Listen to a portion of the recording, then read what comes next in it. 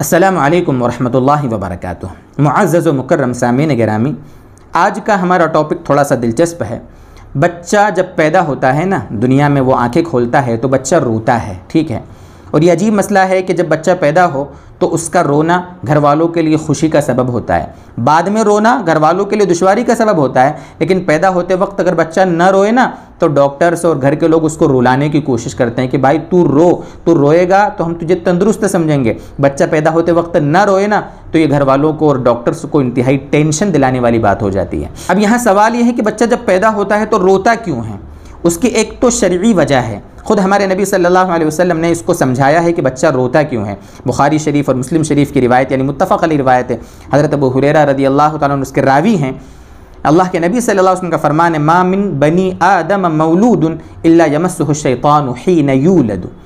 जो भी औलाद आदम में से जो भी बच्चा पैदा होता है ना, शैतान उसको छूता है, शैतान उसको कचोका लगाता है जो वो पैदा होता है। फ़यस तहिल्लु सारिखम मिम्मस शैतान। तो शैतान के छूने की वजह से वो रो पड़ता है, वो चिल्लाता है, वो रोता है। गैर मरियम वबनीहा। हज़रत मरियम और उनके बेटे हज़रत ईसा आलम इन दोनों को शैतान ने कचोका नहीं लगाया था। उसकी भी वजह है, वो भी ख़ुद रिवायत में मौजूद है। हज़रत अबू हुरैरा ख़ुद फरमाते हैं कि कुरान करीम में है कि हज़रत मरियम आलम की जो वालिदा थी, जब मरियम आलम पैदा हुई थी, छोटी बच्ची जब वो पैदा हुई थी तो उनकी वालिदा ने, यानी हज़रत ईसा की नानी ने यह दुआ मांगी थी, इन्नी उईदुहा बिक वदुर्रियत मिन शैतान रजीम। ए अल्लाह, मैं इस मरियम को भी, मरियम, और इसकी औलाद को भी, इसकी ज़ुरियत को भी, ए अल्लाह, मैं शैतान मरदू से तेरी पनाह में देती हूँ। ये ख़ुद उन्होंने दुआ मांगी थी। इस वजह से, इस दुआ की बरकत से शैतान ने छुआ नहीं था, कचों का नहीं लगाया था, न हज़रत ईसा को और न हज़रत ईसा की वालिदा को, हज़रत मरियम आसमाम को। ये जो तफसील आपको बताई, ये तो इसकी शर्री वजह है कि बच्चा क्यों रोता है। इसकी एक साइंटिफिक वजह भी है, साइंटिफिक रीज़न भी है। जो साइंसदान और जो डॉक्टर्स होते हैं, वो बताते हैं कि बच्चा पैदा होता है तो क्यों रोता है।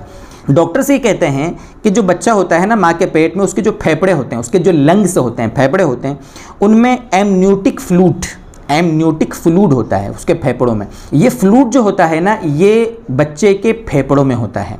और उस फ्लूड की वजह से वो बच्चा माँ के पेट में सेफ़ रहता है। सेफ्टी का ज़रिया है। माँ कुछ, जो कुछ खाती है, जो कुछ पीती है, माँ जो सांस लेती है तो इस फ्लूड के ज़रिए से बच्चे को तोानाई मिलती है, अंदर उसकी सेफ्टी रहती है।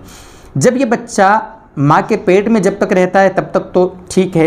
अल्लाह तबारक व ताली उसका अंदर निज़ाम पूरा चला रहे होते हैं माँ के ज़रिए से। माँ खाएगी, पिएगी, माँ सांस लेगी, माँ अच्छे मौसम में रहेगी, माँ अच्छा सोचेगी तो उसका पूरा असर बच्चे पर पड़ रहा है। लेकिन ये बच्चा जब दुनिया में आता है, माँ के पेट से जब बाहर आता है ना तो तेज़ी के साथ वो फ्लूड वहाँ से खारिज होता है। उसके खारिज होते ही अब वो ख़ुद अपने फेफड़ों से सांस लेता है। और अपने लंग्स का इस्तेमाल करता है। जैसे गुब्बारा होता है, पिचका हुआ। इसके जो फेफड़े होते वो भी ऐसे चिपके हुए थे। जैसे इसने खुद साँसें लेना शुरू की, उसको एक तकलीफ़ होती है, उस फ्लूट के खारिज होने की वजह से।